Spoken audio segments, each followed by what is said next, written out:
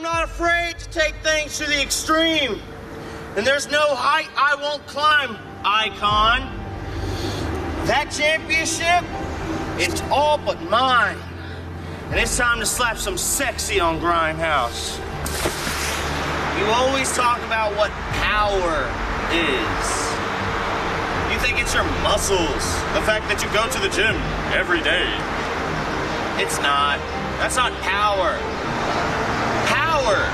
Is to move the world around you based on the words that you speak, based on the will that you have.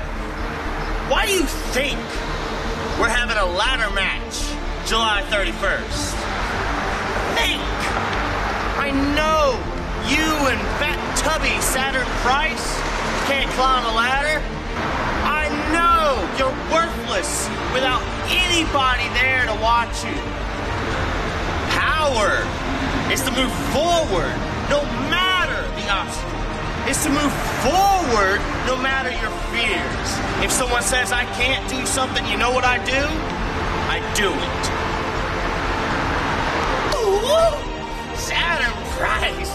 You know them big daddies get me excited. Mm, but here's the thing. I fell asleep during your last match. In fact, I fell asleep during your match before that.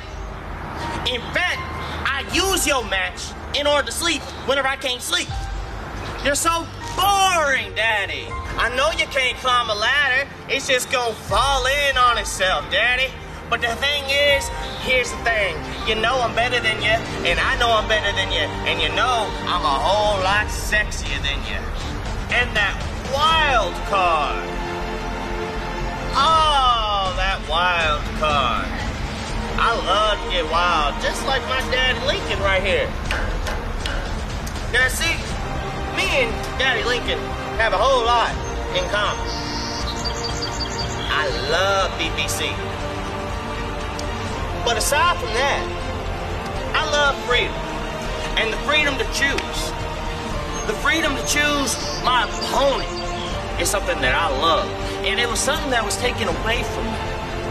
Just know that I am prepared for whatever. I'm prepared. For everything you got for me, Daddy. Bring it. Ooh. Ooh, Daddy Lincoln got me a little hot. Everything that I've said all leads to one thing. July 31st, I'm going to climb that ladder. I'm going to grab that gold. I'm going to wear it around my waist.